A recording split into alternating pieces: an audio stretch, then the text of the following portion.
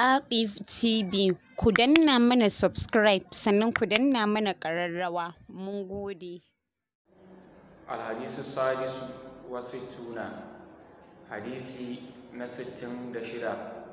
Ƙala sallallahu alaihi wa sallama maza Allah jira da mice Allah su gare shi ya ce Abdullahi Mali mafificin aiki a wurin Allah as-salatu ala waqtiha as-salatu fi waqtiha sallah a cikin lokacinta. Ma'ana mafificin aiki ka aikin da za ci ake ya kowanne shine ka yi sallah a cikin lokacinta. Rawahu tirmizi. Tirmizi ne ya rawaito wannan hadisin.